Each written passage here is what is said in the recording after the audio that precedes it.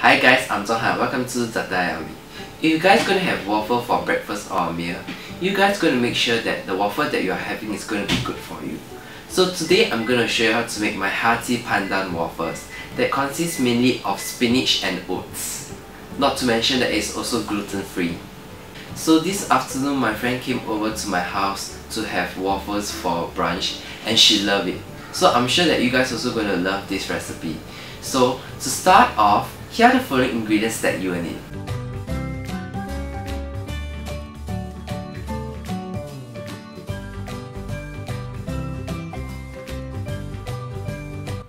In a blender, blend all the ingredients together.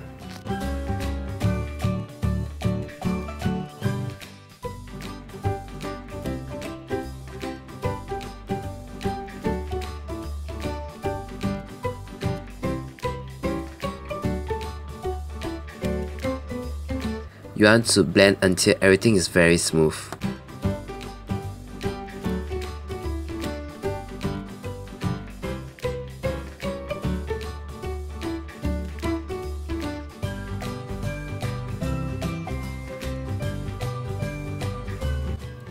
Let it sit for about 10 minutes to thicken while you preheat your waffle maker. You may want to grease your waffle maker depending on your manufacturer instruction. For me, I usually grease the first time when I make.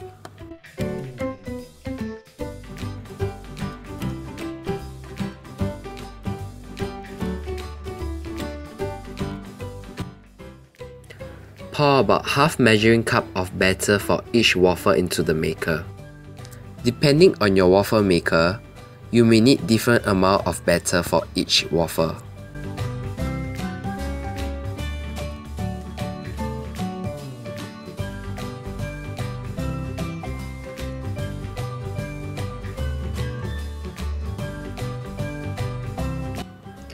Cook until golden brown and crispy. Mine took around 6 to 7 minutes. Depending on your waffle maker, the cooking time may differ.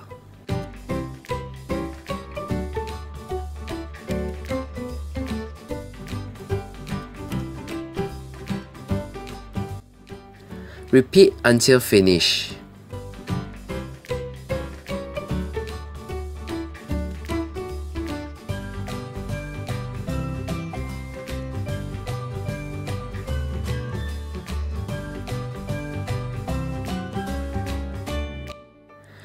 Let it cool in a wire rack. Serve warm with maple syrup and fruits.